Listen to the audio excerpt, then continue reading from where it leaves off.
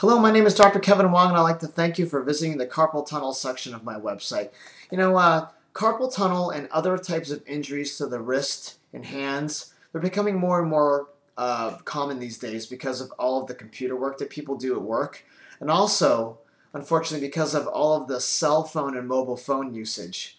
You know, people have talked about texting neck, but also all the wrist hand problems that are coming from all the fine movements that we're doing with our with our hands.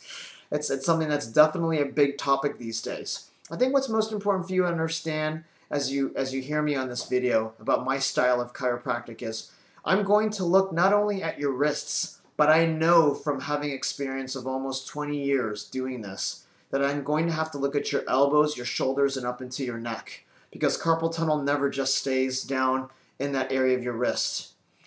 The pain down in those areas will always involve the joints that are close by. So that's why we go through and we look at these areas and we're going to explain and teach you about your own body so you know what not only what I'm doing, but how you're going to help me help yourself when you're home and taking care of yourself when you're outside the office. One of the things that works really well for carpal tunnel and wrist injuries is cold laser, which I have here at the office. I'm one of the only ones in California that has this particular style of cold laser, which you can actually find on my website, which is the um, laser that from Cutting Edge. So anyway, I hope this gives you a little bit of information on how I operate with the wrist. Just rest assured that when you come in, I'm just not going to do this only. I'm going to be checking more.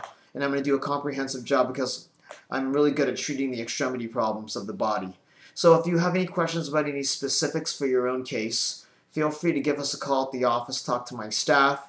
We'll get you scheduled so that we can get more specific for you and tell you exactly how we're going to be able to help you feel better and be the best that you can. Thanks so much for listening and have a wonderful day.